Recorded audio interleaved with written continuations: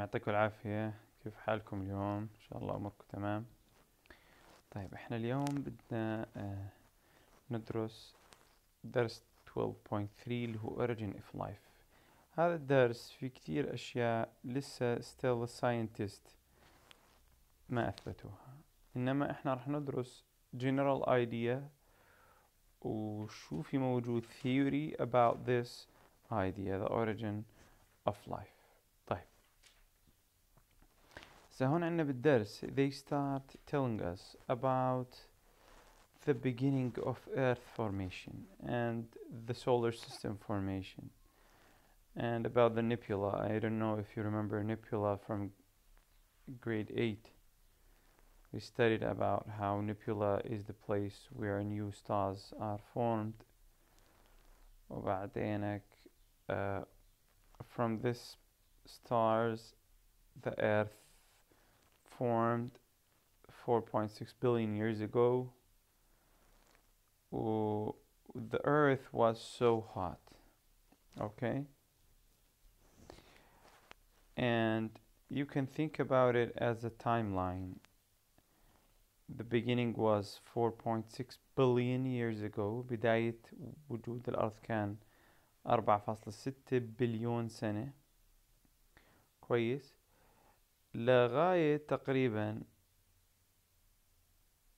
700 million آه. as you see here Earth was most likely violent and very hot for its first 7 million years a time now called the Hadean Eon okay many asteroids meteoroids comets struck planet كثير كانت نيازك وشهب وكذا تخبط في الأرض فكانت الأرض violent. صعب إنه يوجد عليها حياة. الآن شو الجاسز كيف كان الأتموسفير تبع الإيرث كويس. ال Earth ال atmosphere تبعها كان فيه water vapor methane and carbon dioxide كويس. هيك هيك الفرضية.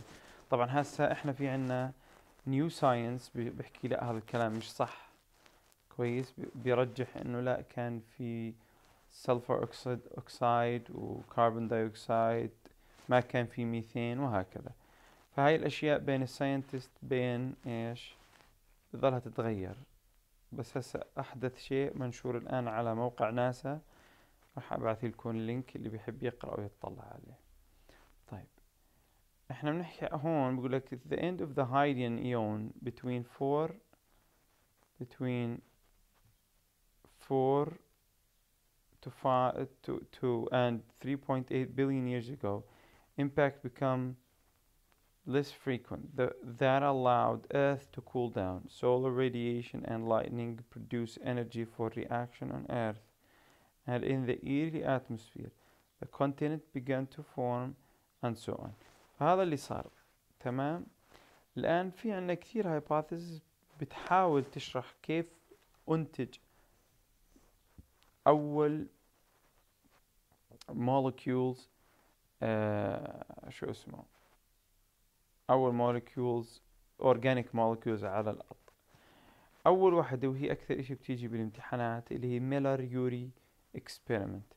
هي صارت في 1953 هذولا عملوا system زي ما أنتم شايفينه هون بال figure 3.2 هذا ال system بيكون فيه موجود كل هاي ال gases اللي هي ال methane ال amino الأمونيا ك methane أمونيا هيدروجين H2O تمام؟ هذول كلهم موجودين يفترض إنهم حسب النظرية هاي يفترض إنهم كانوا موجودين هم بال atmosphere تبع الأرض. فهم إيش عملوا؟ قالوا كان في كثير lightning برق ورعد في الفترة اللي كانت بداية نشأة الأرض. فهم إيش عملوا؟ زي ما أنتم شايفين هون عملوا lightning كويس وحطوا ال atmosphere حطوا هاي ال gases هون. تمام؟ فعملوا lightning وهيت ومصدر للمي وهكذا حتى إنهم إيش يساووا؟ يشوفوا شو راح يطلع نتيجة هذا التفاعل اللي هون. فطلع معهم إيش؟ زي ما هو مكتوب. أيوة. Proved that more than 20 different amino acid has been formed. فصنعوا إيش amino acid بالطريقة هاي.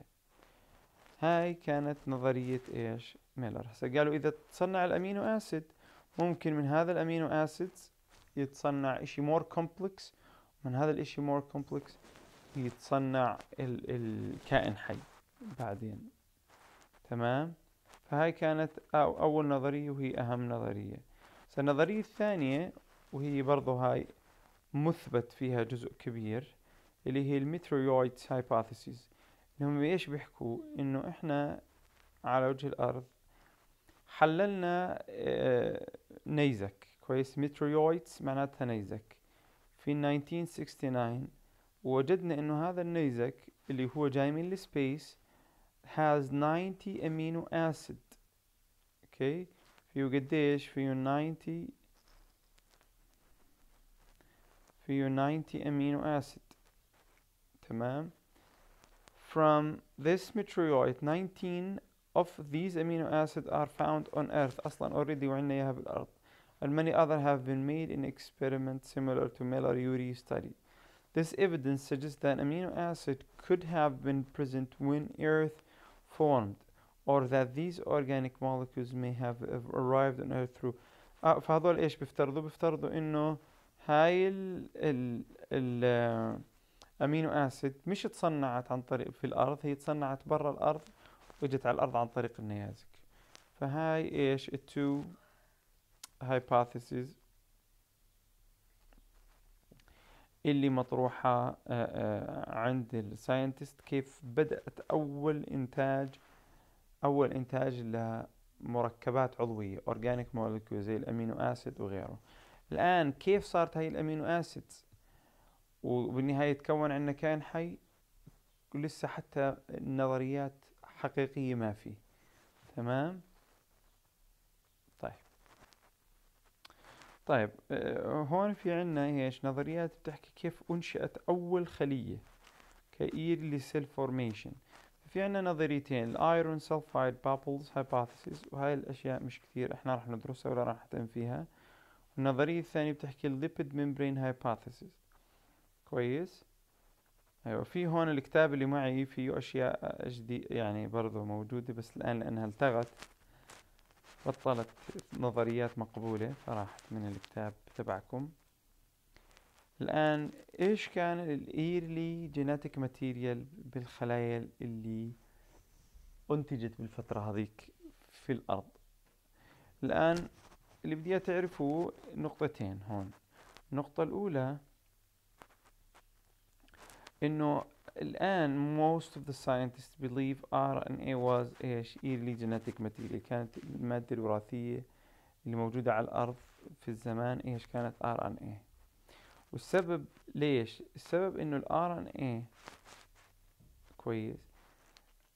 ممكن تعمل انزيمز ففي عنا زي ما نحن لما ندرس انزيمز معمولة من البروتين. في بعض الانزيمز معمولة من ال RNA فمعناها ال RNA ممكن يشتغل as genetic material أو ممكن يشتغل as ribosome ribozymes اللي هن enzymes مصنوعة من ribosome من ال RNA فممكن يشتغل as genetic material and ribozymes. فمعناها ممكن يكون هذا الإشي موجود وإحنا بنثبته باللاب إنه في RNA ممكن تعمل replication لنفسها ممكن تضاعف نفسها. تمام؟ في حين إنه ال DNA مستحيل يقدر يعمل تضاعف لنفسه زي ما نشوف هون إحنا بال figure 3.6 عندكم بالكتاب هاي ال figure 3.5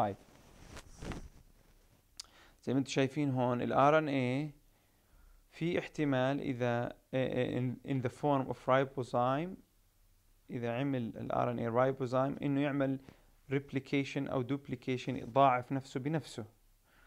كويس وهذا الشيء مطلوب في بداية الحياة إنه ما فيش enzymes ما في شيء فلازم يكون المادة الوراثية قادرة تضاعف نفسها بنفسها في حين إنه ال DNA مستحيل يقدر يضاعف نفسه بنفسه.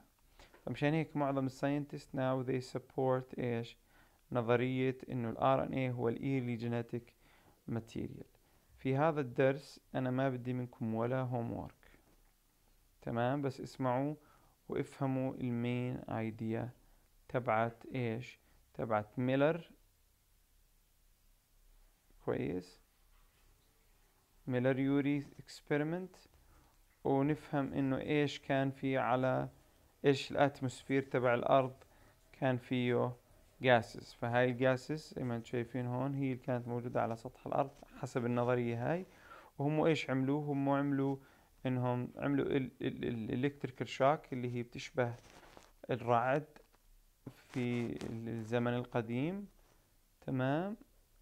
و from this they formed amino acids.